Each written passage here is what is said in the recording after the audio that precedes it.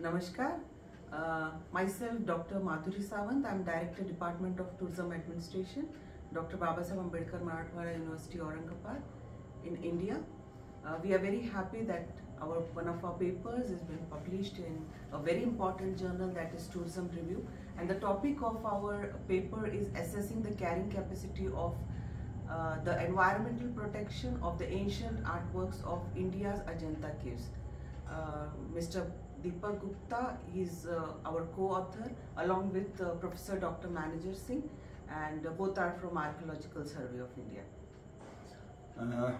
Actually, in the last 25 years, the tourist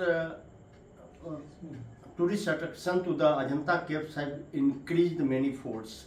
Now we are getting 700,000 of tourists and the, the tourists when they are coming in large number in a poorly ventilated caves, there is an increase in carbon dioxide, humidity, temperature and dust fall we have measured the uh, how much uh, elevation of carbon dioxide, humidity, and uh, temperature, as well as particulate matter.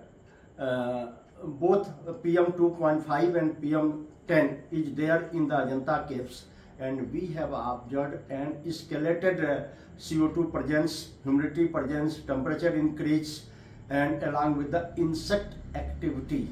So uh, we have to create a balance between the tourism and conservation of these precious caves and mural art which is uh, which belong from 2nd century BC to 5th century AD and the techniques of these paintings were copied from Ajanta to all Southeast Asia so it is very important for us that uh, to conserve the paintings and also carry out the tourism management uh, Professor uh, Madhuri Sawant will speak about the management of tourist management at the Ajanta caves. Of course, our paper uh, concludes with the tourism management, which is having a, a global relevance as far as carrying capacity is concerned uh, at the heritage sites.